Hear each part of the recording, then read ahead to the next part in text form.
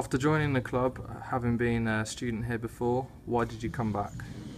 A fantastic place. The uh, facilities are, are awesome. Um, some cracking players, coaching staff.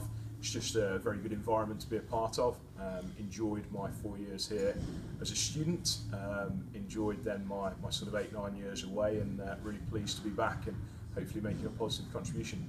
And what is your role with the club now?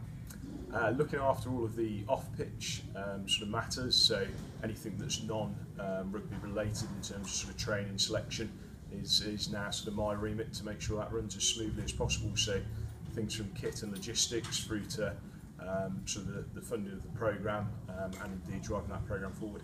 And what do you think makes Loughborough Rugby so special?